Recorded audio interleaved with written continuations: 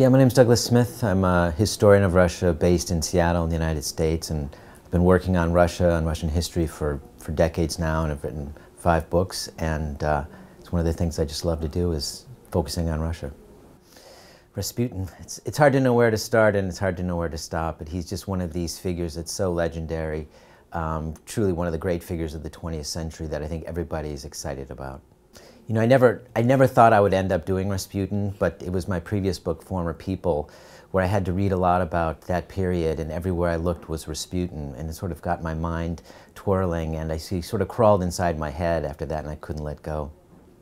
Well, this is, I think, a great time to, to take a long look at Rasputin. December 2016 is the centenary of his spectacular, gruesome murder. And I think, I think it's nice to sort of come back to these big dates and look at what we know and, and what have we sort of misunderstood and to try to set the record straight.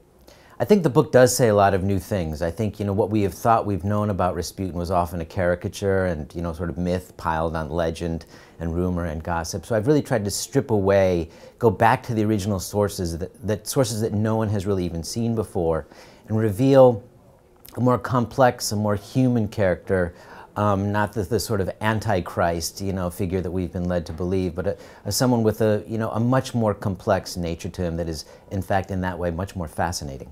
One of the things that was a real challenge for me in writing about this book was trying to figure out who the young Rasputin was, because the first 30 years or so of his life are sort of a black hole. There's very little information.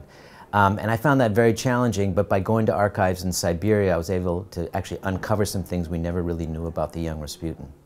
Writing about the murder was fascinating, and so much of it, I think, was that, you know, it's one of those stories that we all know and, and think we know well, um, but as I dug into the sources, I realized that everything we thought we knew was, was completely wrong and, and made up. And so to sort of get at the truth of that moment was fascinating. Typically, in the past, when people have written about Rasputin, they've sort of just based themselves on the published sources and other biographies. And I knew from the beginning that if I was going to do this book and to do it well, I had to go back to the archives. Um, and I had no idea just how incredibly difficult this was going to be. I ended up getting material from seven different countries um, my office is full of boxes. I would like the reader to come away with a much more complex, rounded, um, deeper understanding of this, of this incredible figure and to realize that he was not this monster, that there was a lot of good in him as well as bad, and that he reflects in a way the complexities of the time in which he lived, that this was a man who was very much uh, a part of sort of fin de siècle Russia in those final years of the Romanov dynasty.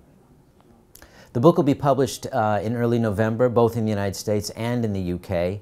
Um, and if anything, I would have to say it'd make a great Christmas present.